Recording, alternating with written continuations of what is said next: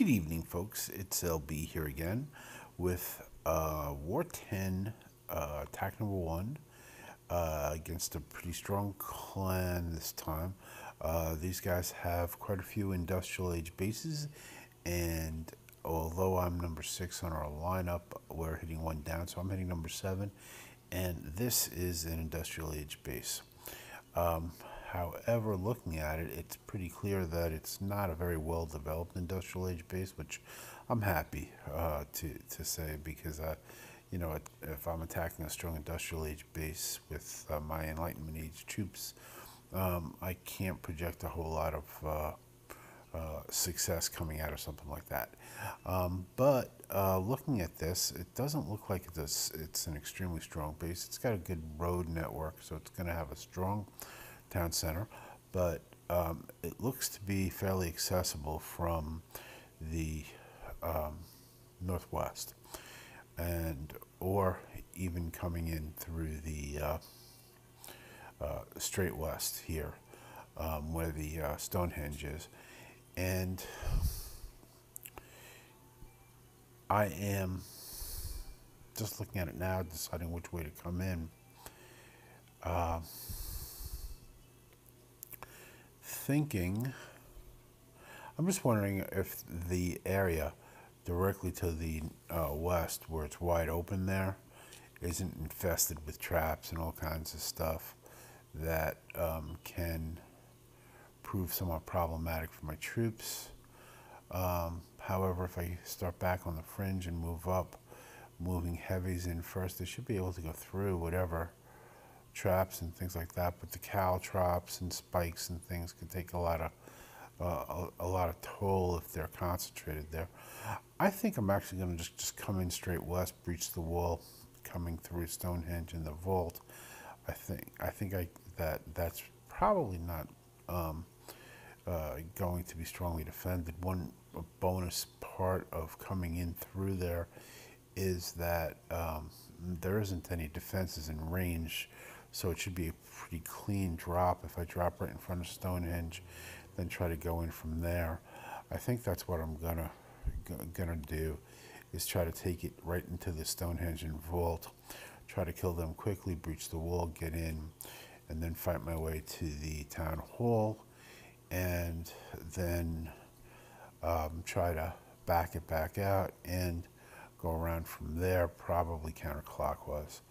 Um, I have a B17 and um, try not to get too overly focused on using that to the detriment of keeping the troops in good shape. But otherwise, uh, I have some um, leftover, I think, bazooka armies, maybe a machine gun army, um, too, that can help me uh, get through this as I need to. So, all right, that's the plan. I think coming in from the west, uh, from the east side, I've got to, um, hmm, actually, that may not be the bad place to come in either. The good part, if I come in uh, across from where that uh, uh, Archer Tower is, um, next to the mortar, I can use a uh, sabotage to uh, keep those things frozen while I kill that stuff, come in there, and then funnel in and, and get the town hall kill, and then proceed around counterclockwise from there. The reason why I kind of like that approach better is they've got a Versailles, and if I come in north of the Versailles and then I'm able to come around counterclockwise from there, I'm leaving the Versailles last, and therefore at least it, will be least effective that way. Um, whereas if I uh, try to come in from the west side and then start moving around, uh, the Versailles is basically going to be splitting the base in half, and that's always problematic for the timer. Um, if I do uh, do a good job, keep my army alive, I could uh, I could still run into trouble getting a five star later if everything goes well because of the Versailles making my troops slow to a crawl as they try to uh, get past it to get to the troops on the other side of it. Um, so uh, I think that's what I'm actually going to do is I'm going to come in from the east looking at this, get a sabotage down, take the mortar and that tower out, and uh, we'll, we'll go from there.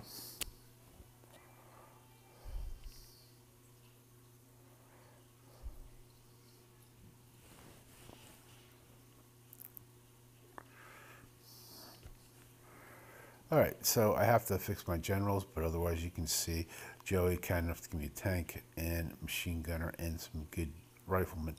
Um, so I've got really good um, alliance troops and strong heavies in my mercenary camp and a B-17 and you can see I've got two bazookas armies and a machine gun army to go with the rest of my stuff. I'll try to use that betrayal if I can spot a tank or something coming out of the town hall. I looked at the base, I didn't really see anything that's going to produce tanks.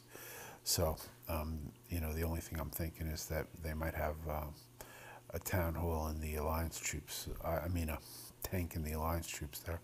Uh, I need to go get uh, generals.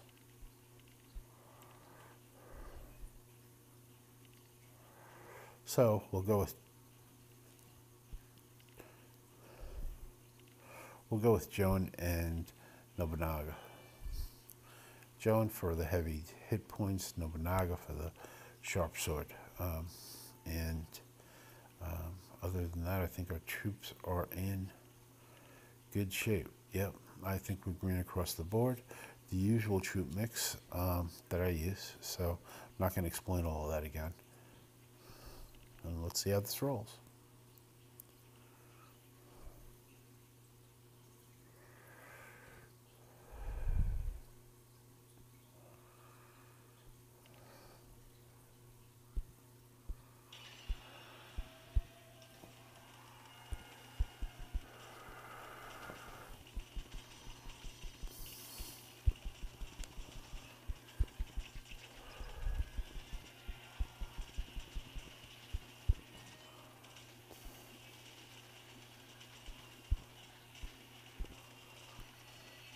All right, so we're in.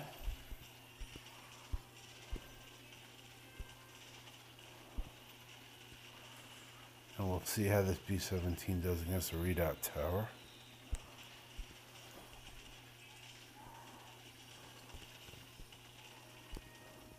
And we'll try to bring everybody back out and around. The only thing is, uh, I forgot to kill the uh, town hall.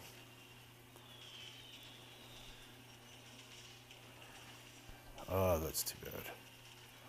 My bad.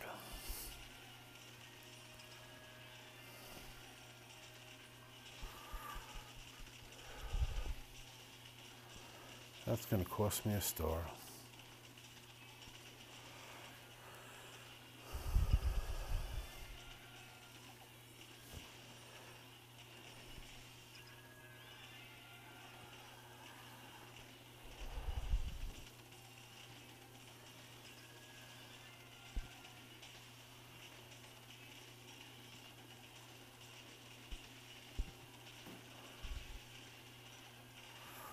And I hit a redoubt with that B-17. It turned out to be not a wise maneuver. Um, the redoubt really did a lot of damage to it.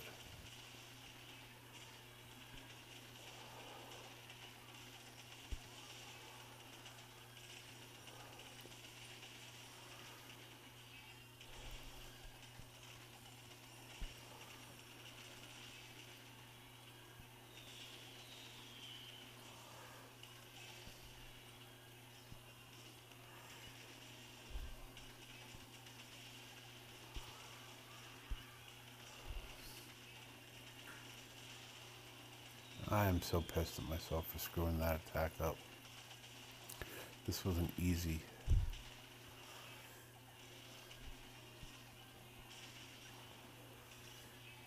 This was an easy five star that I completely blew due to uh, not paying attention to the board. Oh well, sorry about that, guys. Um, but four stars is, is pretty good, I guess. All right.